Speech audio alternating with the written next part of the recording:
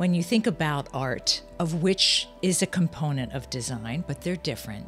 Art is aesthetic, it's something you put on the walls, it's sculpture, it's painting. It does not have a function. Mm-hmm.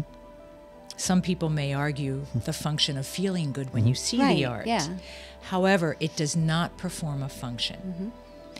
When you think about craft, you think about things made from with the hand, made uh, for the hand, and it may have a function, it may not.